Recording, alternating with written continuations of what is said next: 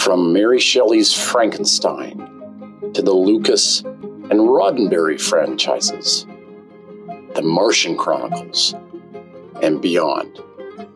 Science fiction is undeniably a part of our culture. But what exactly is science fiction? And how do you write a science fiction novel? This series will attempt to answer those questions. I've got Kate here who has an exciting way to start us off.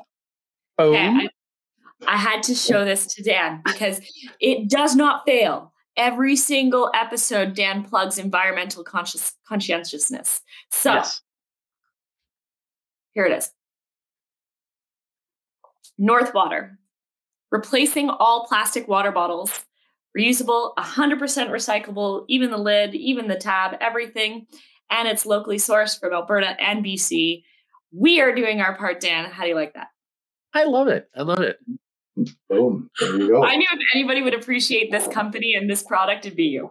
Yeah, it's like the preemptive uh the preemptive strike. So I I, Yeah. I give the crown I give the crown to Kate and uh, Adam, your turn. You got to raise the bar next time for a little bit more epicness and you have to think of something environmental. So um Okay, that's fair. Yeah. Yeah. so that's he's, Adam's going to start the next one. Amazing. See, just- my work here is I- done. I don't have to do anything. Yeah. It's on autopilot. the environmental plug was bound to happen. We just might as well start with it.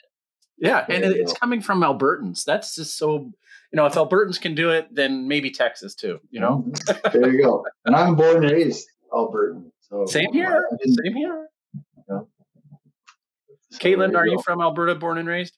Uh, I'm told I'm from Ontario, but I used Oh, to yeah. pronounce it Ontario. I, I don't know. I just got told I was pronouncing it wrong out here in Alberta.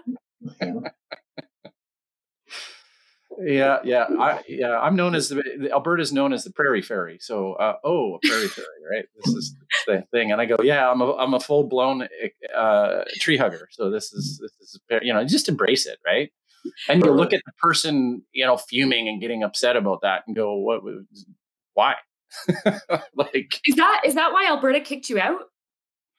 no um although we could put that into the biography that would be a really interesting one right like I, let's say like a biography by proxy or by vote it's like well how should his life turned out have turned out right like Mm. Wouldn't it have been more dramatic if we had done it this way oh yeah shit that's what fiction's for okay that's why we're here today That's why we're here. Yeah, we've been having some fun with this. Uh, our our contribution to the to the to this book is slowly accelerating. We're on an exponential curve here, Dan. So you know this is this is the flow state that you want to be in and and it is it is oddly enough um it is it is production orientated because you you know you if you if you grab that idea and you're like shit i'm just pumping out a thousand words and i'm I, you know i just i can't write it fast enough it's like mhm. you know sometimes that happens and other times it's blocked but i'm glad to see that it's opening up for you guys Wow. And and unblocking the flow has been, I think, part and parcel to working with you, Dan. Like getting us to just think outside of the box, write a little bit, challenging us, you know, letting us permission to fail in the first draft, I think is key too, right? Yeah. there you go. yeah i'm building on this you know this uh permission to fail um there's some wisdom in that but uh, it's like the the idea is is that no masterpiece or even just a, a generally well written book you know doesn't typically come out in the first draft right it's you know you don't want to lose the uh you know the power of the ideas right the thing that kind of orientated you to writing a book in the first place Mhm.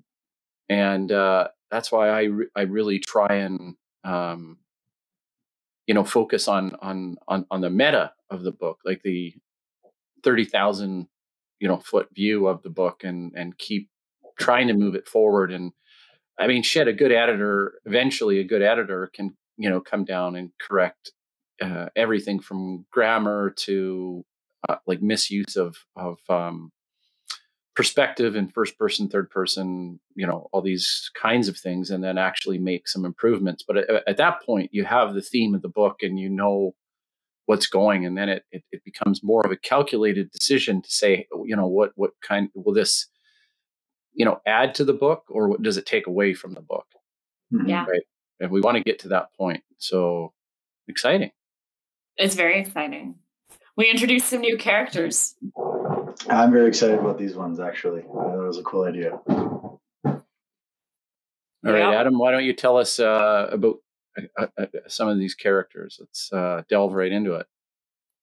Well, it was Caitlin's brainchild. Um, basically, you know, the, the whole idea of our, our character being sent in a in a pod to a, you know corrective facility, and then somebody steals it and because of all the security and blockchain and all this kind of stuff, you need some serious hacking power to do that.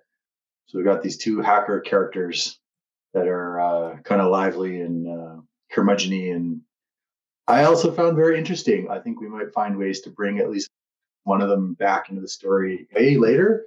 Uh, but I think that's the cool thing about the process. It's kind of like bubbled up and evolved, and we're like, hey, there's a spot for like a cool character here let's roll with it. So uh, kudos to Keelan for, for this brainchild.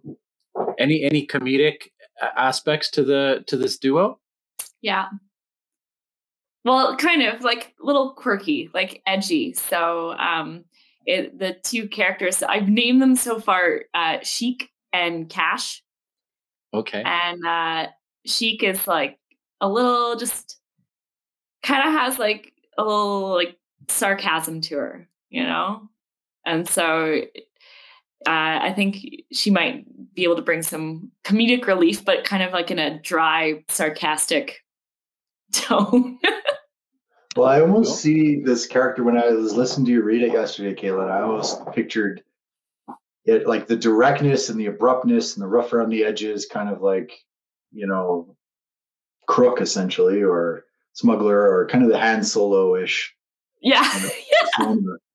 Right.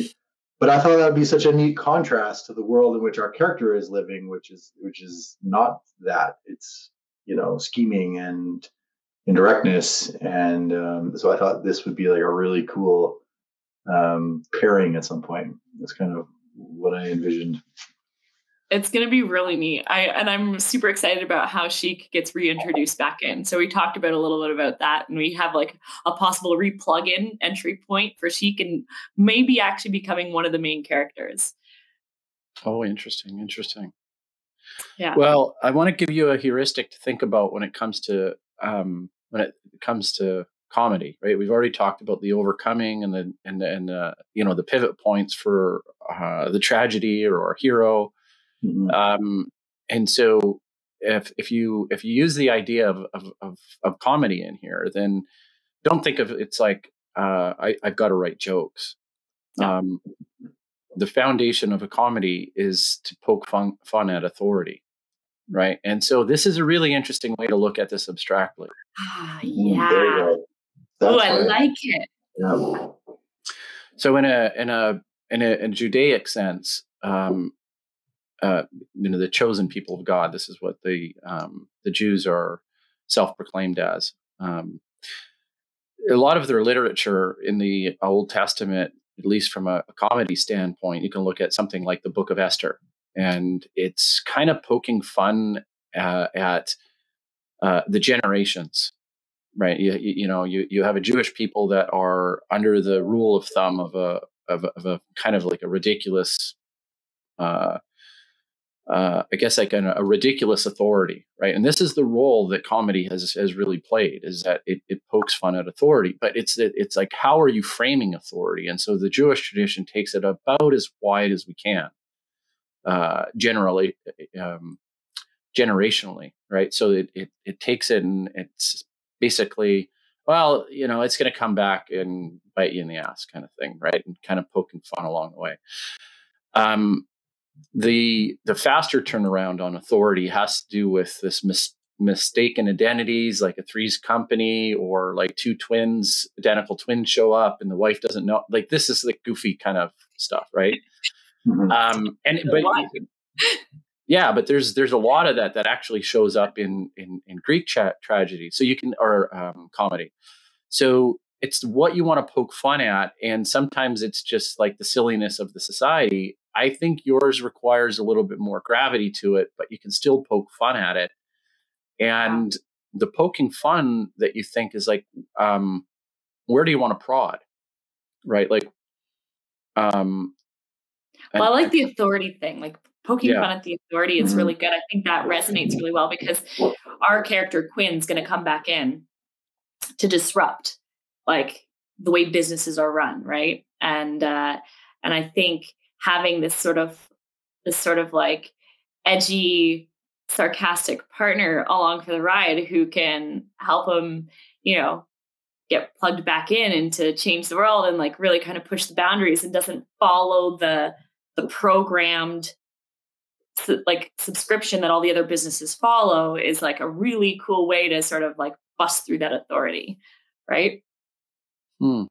well what if you had the um like the bringing together of the two that there's sarcasm is so wonderful right because it's so disarming uh, and you know so so is comedy but what if the um the way that these two characters came together is that um, the sarcasm is about the, the character development and you know adding a certain kind of feel and flavor to the to the novel but where they come together is the you know uh, some sort of an emergence from the character comes from some of this poking fun. That, that might be an interesting way to to mm-hmm. bridge oh, yeah. the two of them. I like that. Yeah, yeah. i think it'll be fun to explore. It um it's actually been kind of an interesting experience because I, I started writing it really at the beginning. Caitlin started writing in the middle. That's what does. Her ideas and her ideas like, ooh, that actually I should put a little plug in that here because that'll be cool to bring up later. So uh, it's like influencing kind of as we go as the story evolves in two different places, really. Um, so I don't know, it's kind of cool. I kind of enjoyed that. Um, I don't know, maybe that kind of like that creativity or that random influence. Maybe that's not for everybody, but uh, it works for us. So. I, I, you know, there, I mean, there's there's basically two kind of divisions of uh, accepted writers in terms of, um, I, I, guess how how the process goes. There's the, the, idea of the pantsers, and then the idea of the structuralists, and um, you know, invariably, like any human activity, there's um, you know, there's, there's there's a combination of a few of them right? But I think um, you know I gel a lot with you guys because I, I I do structure a lot of my creativity, right? I as Isaac Newton did, he he had a notebook and he had all these headings that he eventually came back to and filled in. Now, some of them, well, I shouldn't say that. That he came back to, and some of the headings he never filled in. And um, you know, this is you know this is the kind of thing that it's like you know the idea starts with almost um, uh, a, a, cohesive sentence or thought and realizing where and how you're going to plug it in, it may never make the cut. Um, but uh, at least for me, to have this overarching uh, structure, similar to the way you guys put it on the um, idea board, mm-hmm.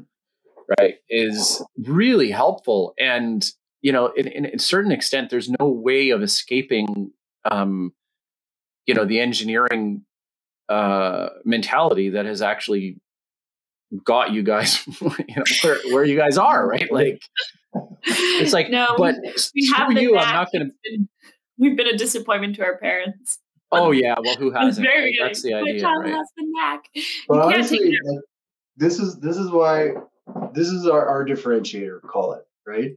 Yes, we're engineers, so of course we plan the the the idea or the story arc out in terms of like themes or scenes or characters or whatever, but not to the you know the minutia where there, there was no room. It was kind of like here's a box, and then next there's going to be another box that's going to be something like this, and then it was like go play in it, right? So it's uh, you know structured for sure, but also with deliberately creating freedom to just have fun and create.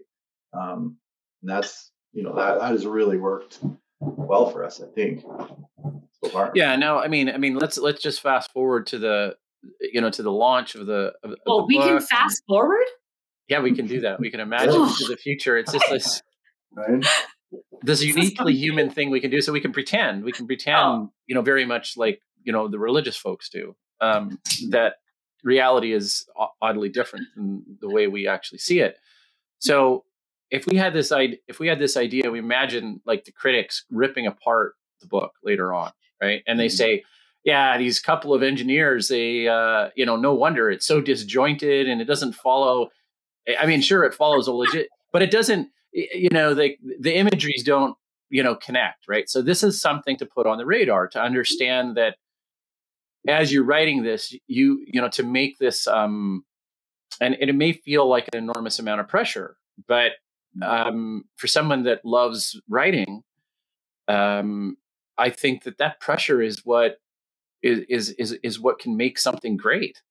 Yeah. Right. I mean, it's it's more than a report, guys. Right. Like, I mean, I'm Mhm. not saying it is, but the thing is, is that on something that you create, uh, a, a book of literature uh, has a has an ability to tap into something uniquely human, and it has the potential to attain everlasting life. Now, it sounds a little tropey and cliche, but long after we're gone, someone or many people might be reading your book, and that that's kind of cool. I think. Well, if we put it into time capsule, maybe it travels to the future. Yeah. There you go. Well, Right? but I mean, who? I see, like, so Orwell writes his book, you know, 1984, and it's an easy one to remember, the year 1948. So, y- you know, I mean, we're still reading it. Why? Why are we still reading it? You know, what is it about that particular book that, you know, of, of, of totalitarian warning and, you know, that he was able to capture and, and, and, uh, I, I would urge you guys to, um, yeah, pick up 1984 again and just listen to how amazing he is from the beginning of it. Get the audiobook and just listen to the first hour of that book, and you're like, wow, right? Like, still to this day, it, it's like it's so amazingly well written. Mhm. Um, and it's a definite style, and you could say, well, I, I can pick up that Orwellian style, and your style will be a little different, right? But you you just keep returning to like some amazing books, and you, you'll be blown away. As as as any connoisseur of good literature will, this will do that. That'll do this to you, right? Mhm. Do you guys drink alcohol? Oh, you're Albertan, yes, of course. I never forgot. Yeah, we're entrepreneurs. We have Am I right? Right? yep, I Yeah, drink okay. alcohol. yeah we, yeah we just that's the way it goes um and so if you if you guys approach this um you know from a standpoint of uh what you know what's your, what's your liquor of choice that's that would be the question Like, is it, And caitlin are you a beer gal or are you into like whiskey or what what what are you, what are you oh gin okay I'm wow gin adam what are you into Rum. Rum. Rum. Okay. Yes. All right. Yes. The one. Uh, okay. So when you guys first, you know, started becoming connoisseurs of liquor, um, you'd understand that there's probably a little bit of difference between, you know, different rums and and and, and gin and you know various different things. So yeah, why don't you tell me about connoisseurship and the um, and and liquid lunches and all this kind of stuff. Uh, well, I mean, I hated gin up until two years ago. I thought it tasted like a bag of smashed assholes. Like it was the dirtiest thing out there. And uh, my friend Carlin and his wife Elena were over, and we were having some drinks, and he made himself a gin, and I said, "Oh, dirty." And he's like, "Have you tried it?" And I'm like, "Yeah, it's disgusting." He's like, "Try this." And it was a gin and tonic, very simple. I took a sip, and I was like, "This is amazing." He's like, "Let me guess, you've been drinking Beefeater," and I'm like, "Yeah." so he actually had a nice, decent bottle of like, it was a Bombay Sapphire, so like mid-range bottle of gin, and it was so delicious. And then there's a gin distillery down the road from me called Eau Claire, which if you have not tried the Eau Claire gin, and their their whiskey's actually won a ton of awards as well, amazing. And uh, I just became like I really appreciated a nice gin after that. Yeah. So yeah. The only other thing that we could be years. doing is is you know I, I, think there's some advertising sort of things like you're you know back in the day you, you, you couldn't record videos or you know movies while you're smoking and stuff you know we could just light it up and move the time period to sometime after four o'clock and uh, just completely you know show up with our our our drug of choice and uh, just get inebriated and and see how the ratings of that those shows go who knows it might oh, be the oh, next I, uh, I feel like we should actually we should have a runaway podcast day yeah That's oh let's see i'm in Okay. Okay, uh, tell us a rum story. You got a rum story, Adam?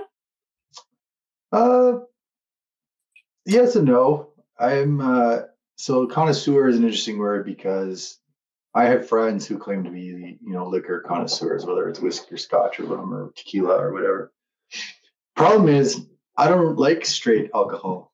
I don't. It's too like makes me cringe. So I always mix it with Pepsi or Coke or you know oh. some kind of mix but I do recognize the difference between a cheap bottle of rum and a good bottle of rum, even if I'm mixing it. So that makes some people crazy, but uh, you know, I, I like it. So, you know, what is your definition of connoisseur? Someone who, you know, is educated and truly understands like the different tastes and the that went into it, or is it somebody that's tried a bunch of stuff and is just comfortable with picking this one. Um, you know. Well, come on. I think Adam needs a little bit of help on the rum side of things. So I'm a, I'm a I was a rum guy myself. Uh, yeah. My wife and I went to uh, to Spain, and that was at the, at the point where I said I, am I'm, I'm you know kind of done with alcohol. It just it's so it, it feels like I, I, dated a girl a long time ago. We went uh, before I was married. That helps to tell well, you guys before I was married, right? So, no, anyways, that's the like, best time to date is before you're married. It's less complicated that way, right? you know, like I tell you. So, anyways, we were, you know, we ended up in Hawaii, and and she's, uh, you know, was a wonderful girl, but just didn't work out with us, and uh, um, but she was allergic to alcohol. And and and so I was like, ah, come on, you can have it. Well, if at two drinks, I mean, I was literally having to carry her home, right? And it mm-hmm. was, you know, we flew all the way to Hawaii, and you know, we're young and athletic and energetic, and so there's certain things you want to do, not just have a couple drinks and then come back and pass out, right? So, anyways, that's exactly what happened. she literally could not have more than two drinks, and she was completely like passed out, right? And so, anyways, that that's that's not you know that that's a little bit of a disadvantage but i remember learning business in alberta this is my territory you guys learning business uh, now if i point you guys into the direction of southwest calgary and i'm talking about southland area there's a road called horton road. Yeah and on horton. Road yeah, you did? Okay. Well yeah. down the backside of longhorns which is now shut down yeah. um, my old boss actually owned all that property. Okay. And he rented out semi trailer vans, uh, containers, construction equipment, uh, and this type of thing. So that was where I got my business education because we we had these meetings at four o'clock, and they're called safety meetings. And so, you know, the idea is like, you know, there's a bunch of guys in an ATCO trailer. Nobody moves, nobody gets hurt as long as you got your rum and coke in your hand. See, I tie yeah. that back into the rum and coke. I was wondering where we were going. Where are we going with that, right? So so the connoisseur is going to say yes i agree with you adam there's a there's a time and a place for uh you know some sort of mix with this and I, I mean i knew because i was the gopher that had to go and get the liquor right for all yeah. of the, the guys right i was just the young university guy so when i would take these back to the the bottle depot which there was handily in one right on horton road there is. um there was this uh like uh uh, I guess it was like um, a mixture of like one two liter Diet Coke for every 950 milliliter liquor, right? So this is this is pretty much like a one yeah, one to two ratio in terms of liquor and and, and Diet yeah. Coke, right? So okay. yeah, you know this was this was you know we were up to nothing but trouble. and uh, and uh, and and and sure it was fun. But this was back in the day where you know you could tie a uh, a drill to the bumper of a guy's car when he drove away half inebriated, right? I mean, you can't do this anymore, right? And it, it, it's not advocating for drunk driving, but man, for the record, I think it was been illegal for a long time, but even okay. at that time it was illegal. Even at that time it was illegal. Sex and all this kind of crap, right? And uh, but somehow uh, it's like for, for the people watching, this is allegedly. Go on, Dan. Allegedly, yeah. That that was my name through all through university. That's my nickname. Are you going to invite allegedly? Who knows? You may show up. You may not. I don't know. but you know, what makes me think of your story, Dan, is you know when I'm when I'm thinking of a scene in a character, like okay, I want my character to get out of bed. I want them to go here. I want them to start working. I want them to interact with people, and this is like roughly what I want to happen, right? And then I start writing, and I can't just say he got out of bed, he walked over there, then this, this, this, and this. I have to sh- try and show it, right? And it's these little innocuous things like sitting in a trailer, like these moments in, in a scene. Maybe he's crossing the street. Maybe it's uh, looks out the window and sees something where you spend a second and focus on something that really doesn't add necessarily to the plot or move the plot forward or, or anything, but it just takes a moment and puts you inside this person's head for a second, right? Because humans we're we're messy creatures, right? We may look like we have it all together, but really we're all over the freaking place. We're looking here, we're looking there, right? Um, so, you know, a story yeah. like this about rum and coke and tying a drill and whatever, spend a whole chapter on something like this just to really show what kind of person this guy is. Okay. This is a great point. And I had a question. I was actually thinking about this. And I, I don't know where the heck you're going with the connoisseur of alcohol or the story. And let's jump back into that later. But can I have a scroll moment? Because I have a question about writing in this particular. Okay. Mm-hmm. Adam's Break.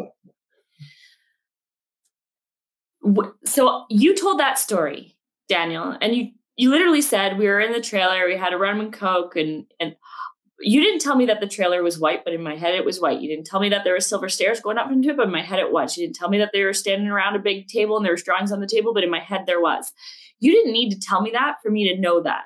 What is the added value from an author's perspective to add all these intricate layers of description if our minds will automatically fill them in? Uh, very good question. You're you're an artist now and not an engineer. Mm. Yeah. So this is very advanced move, but I think the aha moment is that you asked that question because there's certain liberties that, that you you can assume the li- the reader will actually take and now the magic is to try and figure out how do I accentuate on your image never have meeting never have met the the uh, the reader mm-hmm. right and so let's say for example uh, we took something like the you know the metal stairs running up to the Atco trailer. Um, how quickly could I deviate from that? And what every decision you make, you to think what value does it bring to the overall narrative, right? So I could leave that alone, and in my version of the Atco trailer, um, it's just like um, there is no metal stairs. In fact, there wasn't. It was because it was so low to the ground there there was no need. There was like a couple like just a, like a wooden step sort of thing, but it didn't matter. It didn't matter. I know the ones you're talking about, right? Where you know you have a job site trailer and there's you know even metal railings and you know could be a catwalk. I mean, I've seen these things up at the top of a, of a, of a tower, right? Yeah. And uh, but anyways, um, I think the idea is to say because Adam brought up the point to say, well, try and tell the story. And I was going to see, well, there's an element of speed that you want to be aware of, right? Mm-hmm. And unless you're going to do something interesting and unique, like almost throw it down to like a freeze frame sort of thing in the moment of adrenaline, then be aware of your timing as you're doing it. But what Kate's explaining is something more platonic, and it's it's that if I'm going to take the time to fill in the description for that person, um, it better do something important. And that's got a lot of pressure. But think of that. You know, it's it's got it should do something important. Um, uh, and and if you think to yourself, well, it's not doing something entirely important, then maybe it's part of a, a consistent type of theme that demonstrates the way the character is actually thinking or the narrator is actually narrating right and so we're going to look for some of those consistencies. And so what i find is that when you're writing even write little side notes about how you approached it so that you can in a glance figure out later down the road i want to do something similar. Um, because that consistency is something that your reader is going to appreciate and you don't have to describe the actual Atco trailer. I mean, me saying Atco means something, right? And I think actually probably more just to Canadians. I don't know if Atco is a big company, but maybe it's all around the world. I don't know. well, it, it's right? funny, right? And, and I think you, you can illustrate like, like, sticking with the stairs example, right? You know, is it the silver stairs and do they have the holes in them, in the railing on the side or or whatever? But for me, if I were to describe the stairs, I might describe the ringing sound of my boots as I go up the stairs. That to me feels familiar from my times working as a laborer on a construction site or whatever. It's like the ding, ding, ding, right? It's the, it's almost like the dinner bell, right? You may drag your foot because of the mud. Yeah, like that. Right. So it's, it's more than the stairs. It's it's like well, you know, you've got those big work boots, and you just mm-hmm. drag your feet to you know you're looking for a mat. There is no mat, but there's the side piece that has like those side brushes and stuff. And I'm like, fuck that. I'm not doing that. I'm just going to drag my feet and then stomp it a little bit. And then Caitlin's here, you know, and it's like, yeah, I can see like how I enter Adam, Adam kind of goes in like this and Caitlin Nailed so, it. Nailed so it. What you want to do is you want to say the character is going to have something like that that's like them. And and to be quite honest, you guys are you know novice writers. So you, what you could do is say, "Fuck it, I'm going to make this Caitlin," because it's so easy to tell the truth about what I am. It's just like I could take that thisness and make that as a part of you know the way the character is, right? Mm-hmm. And uh, but put vulnerability in it, right? Like, uh, I mean, uh, uh, so many things run through your mind, Caitlin, right? Like, there's, there's, um, especially my mind, so many well, things. but what, I, no, but what I'm saying is, is that for for all of us, whether it's Adam comes in, he's kind of assessing the situation, you know, he's see because Adam's got this like, this like, um, ninja sort of ness to him, right? So he kind of comes in like this, and right, and then but he's looking at you. He's kind of assessing, right? He's just like, I'm gonna look and figure this guy out, right? So so Caitlin's kind of like the distraction, and Adam's the one kind of right. So like natural kingdom stuff, like this symbiosis relationship between these two characters, and you know you, you, know, Adam plays the Columbo guy that's kind of like asking simple questions, but he's like, uh huh, I got it, I got it, I got it. I love Columbo. right? So you're so hope. Yeah, but you know, uh, Columbo is great because how long does he spend on innocuous detail like why was there dirt on the stairs, right? When he's investigating a murder scene, right? That's Columbo's thing, and I think you can reverse engineer that like you know if if that's important to the story that you come up and you always wipe your feet on then then you can spend some time talking about the mud on the shoes and the feet and then the stairs kind of appear as almost as a result of that right? You don't necessarily have to say they're stairs. You say oh they're wiping my foot on the edge of the right but i like what you're saying about timing dan and like the speed of which you want to move things forward because i actually struggled to read lord of the rings I don't even think I got through it, to be honest with you, because the guy I, I know. I mean, I watched the movies like probably close to 60 times. I, I love the storyline, but it drove me nuts that he spent like a page and a half describing a leaf. Mm. And and for me, I couldn't I couldn't because my mind moves at such a speed. And I I just thought everybody saw movies when they read books. But I realized that's not that's not an everybody thing. Mm. So when I read, I don't see a book, I don't see word, I just see images and it's a movie. It's like watching mm-hmm. a movie when I read. So if it's moving too slow for my mind, I struggle yeah. to read it, to digest it. Because I'm like, you've been on this leaf for a page and a half. I already pictured it the very first moment, and you keep reiterating or changing the image in my head because I've already pictured it. And I think that's what bothered me. It was like, I already pictured that the leaf was green and it was this shape. Oh, now you're telling me it's this shape. Okay, I have to go back and edit that in my mind. Okay, now, oh, it's not this color green, it's this color green. I have to go back and edit it in my mind. And I'm like, get off of this. I want to hear what's happening with the people. I want to, well, maybe that's just me. Or is that no, no? It's important to point on just to pause on that for a little bit and realize that this is this is why in movies um, cinematography is so amazing, right? And in, and and you can appreciate that in in a snap, uh, I guess, few instances, you can get the overall feeling of the cinematography, uh, the focal length of the camera, the um, you know, the smokiness, I guess, like the I don't know, like the the realness or the you know the kind of the feel of, of the way it's filmed right? There's a difference between a tarantino film and a so i would say embrace this filmness sort of artistic sort of thing and and and realize well what kind of film do you want to uh and you can write in that in that way actually. Um and and i i think it is uh progressive. I think that trying to spend too much time on a leaf is um only relevant if the leaf is really important to the, you know, I mean, but you need, you still need to build the scene.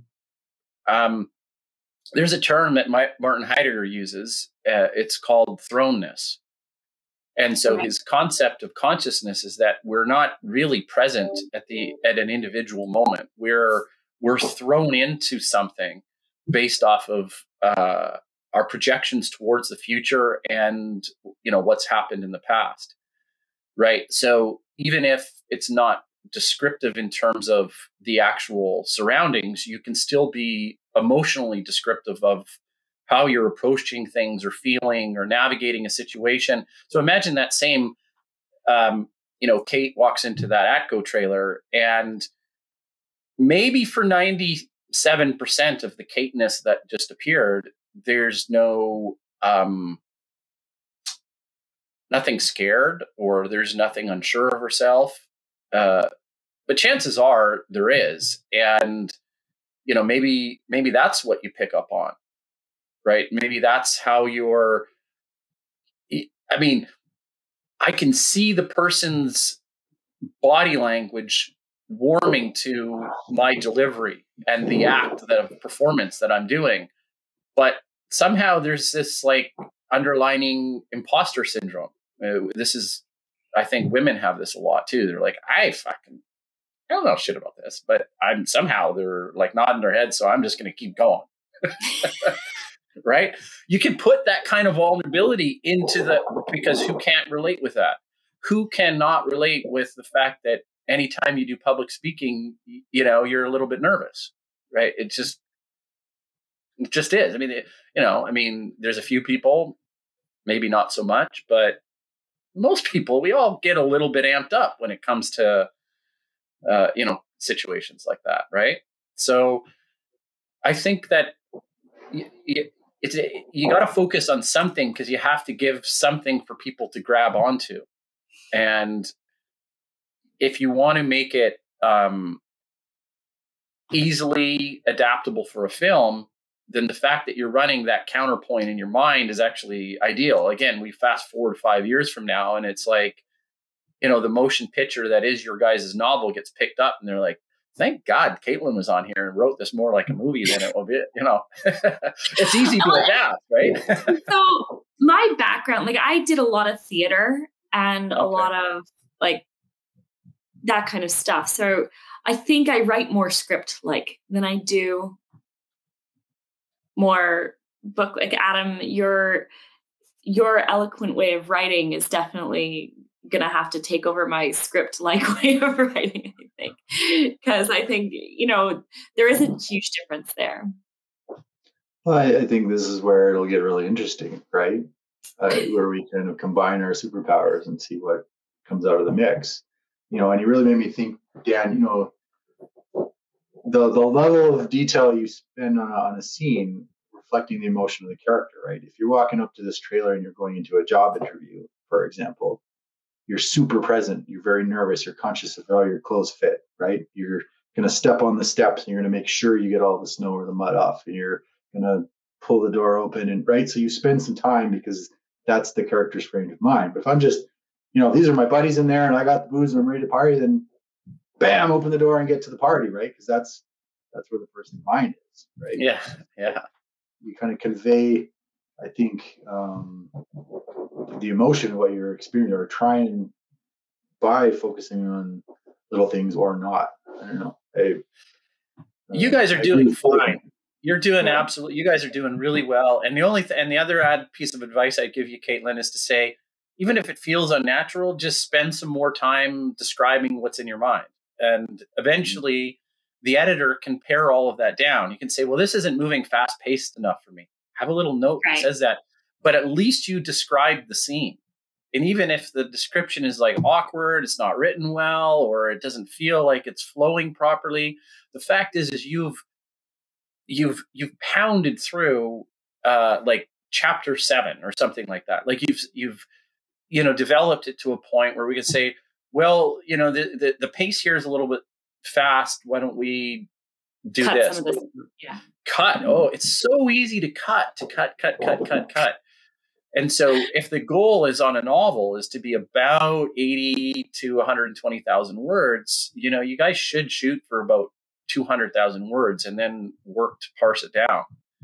Uh, it, unless it's, I mean, that would be a good, I think a good, a good idea. Right. And, you know, probably around, I mean, how many chapters do you guys have right now? What are you, are you thinking? I don't even think I have a full chapter. Well, yeah, I've just no, not produced, but how many chapter? Like, was it a twenty chapter book, or I can't remember. I, we have the link to the. I, that sounds right, twenty ish. Uh, I think. Right. Sure, I'll go with that. I don't know. Story's gonna go where it's gonna go. Like yeah, we, like plots and subplots. It might be one of those ones where we write 50 chapters and go, okay, this is where the first book ends. well, think think about it this way. You know, I mean, uh, you know, a- Adam's written a couple blog posts, for example, and they're probably about 500 to 1,000 words. So for each chapter, you want to try and think, well, is it possible to hit the 10K mark in terms of words? And think about how am I going to structure this? Now, there's exceptions to the rule. You can have something that ends up being uh, an 800 word chapter right? But you know, if you're thinking that you know roughly, that means then other chapters have to have more words. But like, what what what would be involved in a ten thousand word chapter? Mm-hmm. That's a lot of writing, right? And you have to try and think how you know. There's a lot of ability to develop um, characters in there, and you know, develop the story, and you know, you, you you got a lot of time to develop things, right? And I guess to use the film analogy, um,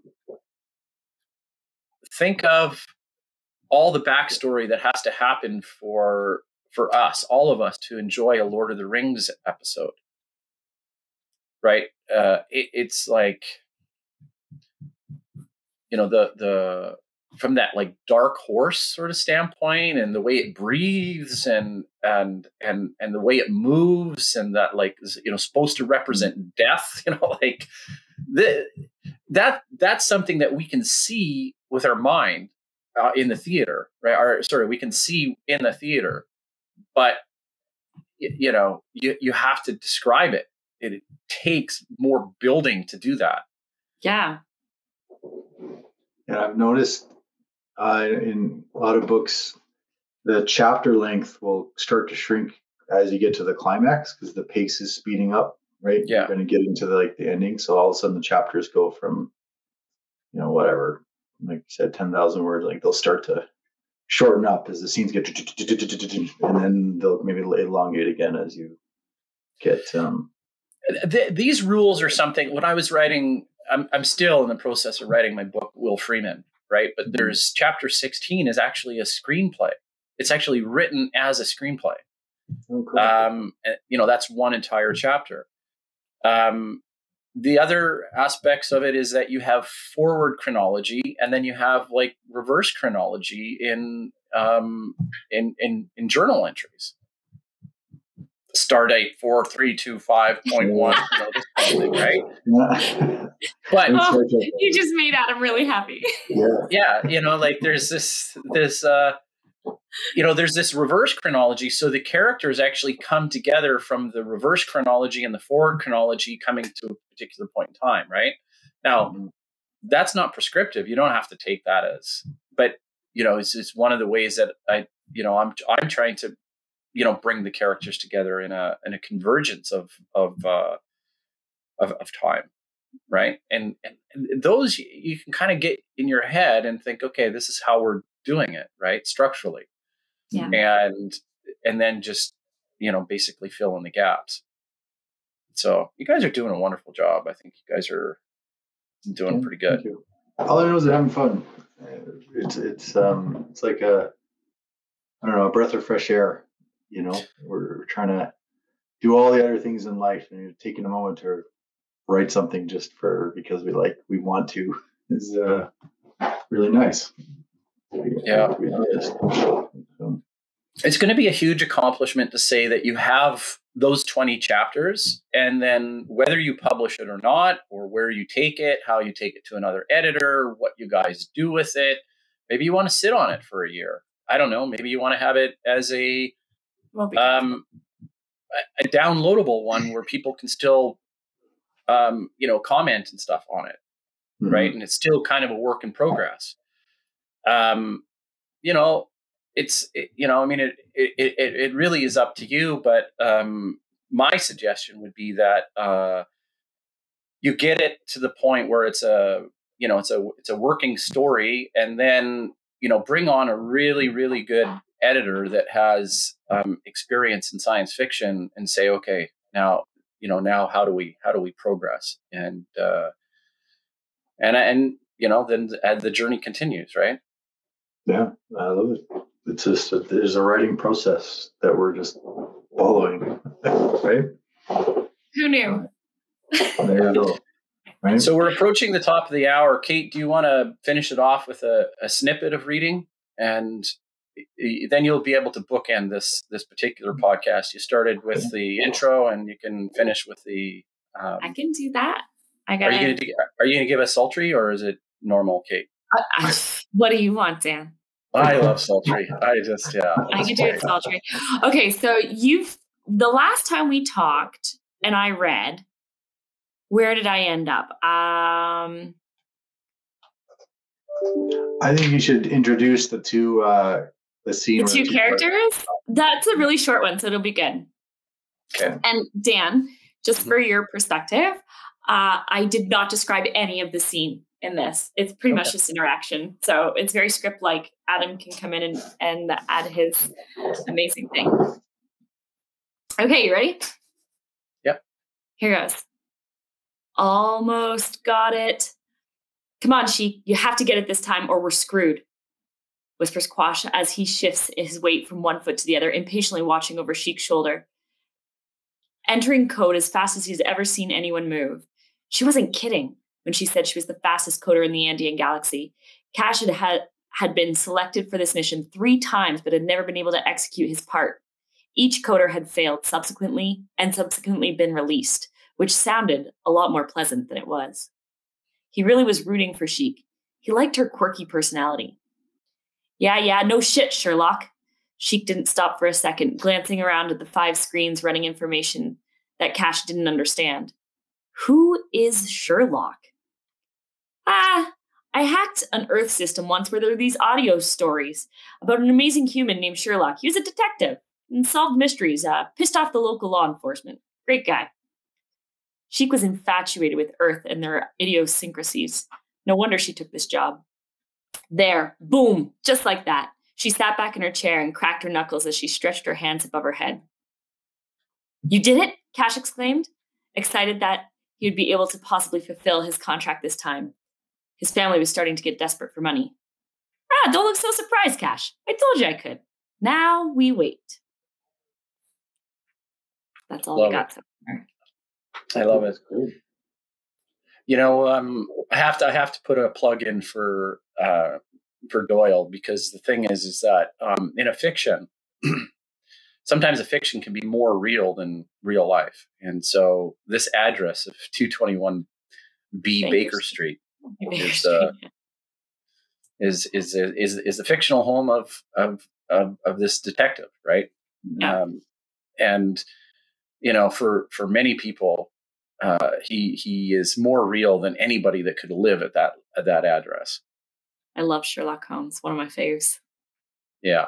Mm-hmm. Um, one small little thing to leave everybody with is that on the dialogues, what I find to be really masterful uh, is when you hold people in tension as the as you're as you're developing the dialogue right it's kind of like this idea of um you know the horror movie and you're like telling the you know the girl in the tight sweater that's running out you know in a skirt you know out into like the or into the basement like just go upstairs or stay in the house like you know like you're building this like you know you're building this tension and so characters can have that same sort of thing too right you um and Tarantino does this really well where it's it's like you're hmm. just holding right on something and just like holding them right at the end of a of a of a joke or a, a tension like you're building tension in the dialogue so okay um yeah keep trying to do that um say what this dialogue is saying but what is it uh, saying underneath kind of like a disney movie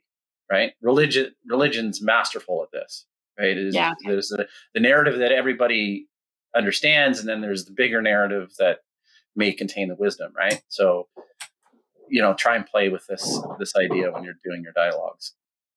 Like yeah, that's great. Thank you. Oh my gosh, this this this episode was full of gems, man. We're gonna pull them out. there we go. Adam, anything else? No, I just say, Caitlin, I don't think that scene necessarily needs any more describing than that. The painted a picture in my mind of what was going on. So I think it's fine, to be honest. Okay. Yeah. I agree. Awesome. Okay, so uh, you know, I'll I'll work on your your little highlight reel there. Um, okay. Okay, and then until next time, everybody, thanks for tuning in.